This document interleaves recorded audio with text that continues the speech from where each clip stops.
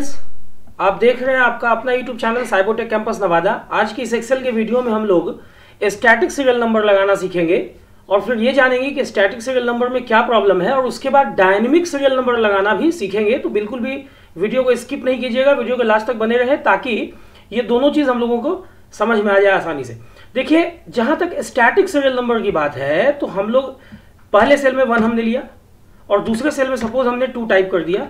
अब इन दोनों सेल्स को आपस, आपको सेलेक्ट कर लेना है और उसके बाद फिल हैंडल से आपको नीचे की तरफ़ इसको ड्रैग कर लेना है।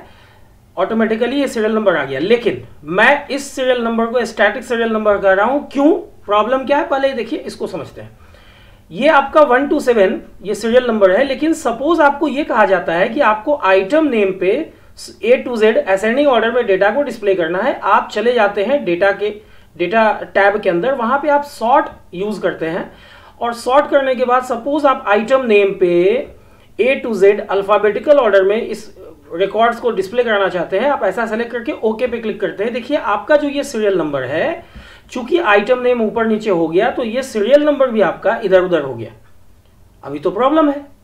तो ये दिक्कत है स्टैटिक सीरियल नंबर के साथ। अभी आपको ये कहा जाता है कि आप ऐसा करो फ़िल्टर लगाओ और फ़िल्टर लगाने के बाद यहाँ से आप quantity wise largest to smallest कर लेते हो, देखिए आपका सीरियल नंबर जो है वो इधर उधर हो जाता है। ठीक है? चलिए मैं कंट्रोल जेड करके इसे अंडू कर लेता हूँ। अभी ये तो स्टैटिक सीरियल नंबर लगाना बहुत आसान काम है, लेकिन डायनेमिक सीरियल नंबर कैसे लगाएँगे? देखिए आपको करना क्या है।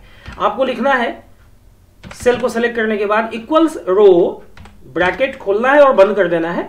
उसके बाद आपको माइनस करना है उतना रो जितना आपने ऊपर छोड़ दिया है। जैसे मैंने यहाँ पे पहले रो में सेल्स डेटा लिखा है और दूसरे रो में मैंने हेडिंग लिखा है like static serial number dynamic serial number item name quantity वगैरह वगैरह। मतलब ऊपर से मैंने दो रो छोड़ दिया है तो मैं यहाँ माइनस टू कर दूँगा। अगर आप जिस शीट पर काम कर रहे होंगे, अगर आप दो से ज़्यादा या दो से कम अगर आप आपने रो छोड़ा है तो आप उतना माइनस कर दोगे जितना आपने छोड़ा है। इंटर प्रेस कर देना है और उसके बाद आपको इसको, इस फॉर्मूला को फिल हैंडल से नीचे की तरफ़ ड्रैग कर लेना है। अभी देखो ये डायनेमिक सीरियल नंबर कैसे है। अब हम लोग क्या करते हैं? अगेन हम लोग सॉर्ट करते हैं या फ़िल्टर भी कर सकते हैं।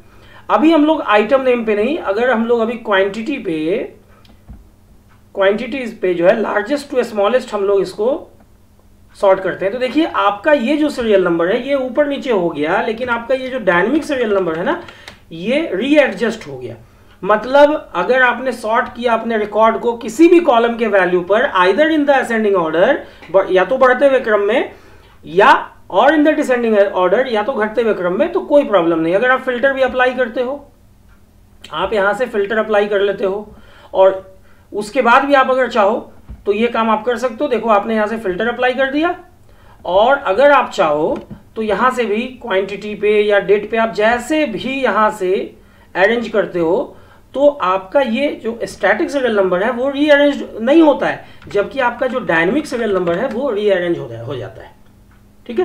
तो ये उम्मीद करता हूँ कि अब इस वीडियो को देखने के बाद आप लोग भी ये फ़र्क समझ चुके होंगे कि स्टैटिक सीरियल नंबर जिसको आज तक आप लोग शायद यूज़ भी कर रहे होंगे, उसमें और डायनेमिक सीरियल नंबर में क्या अंतर है और क्यों हम लोगों को स्टैटिक सीरियल नंबर नहीं लगाना चाहिए डायनेमिक सीरियल नंबर लगाना चाहिए? तो अगर ये वीडियो आप लोगों को पसंद आई हो तो वीडियो को लाइक शेयर करना ना भूलें। जिन लोगों ने भी चैनल को सब्सक्राइब नहीं किया है प्लीज़ प्लीज़ प्लीज़ चैनल को सब्सक्राइब कर दें बेल बटन को हिट कर दें, ताकि जो भी मैं अपडेट दूँ, वो आप लोगों तक समय पर पहुँचे। वीडियो के अंत तक बने रहने के लिए आप लोगों का बहुत बहुत शुक्रिया। धन्यवाद। Thanks thanks a lot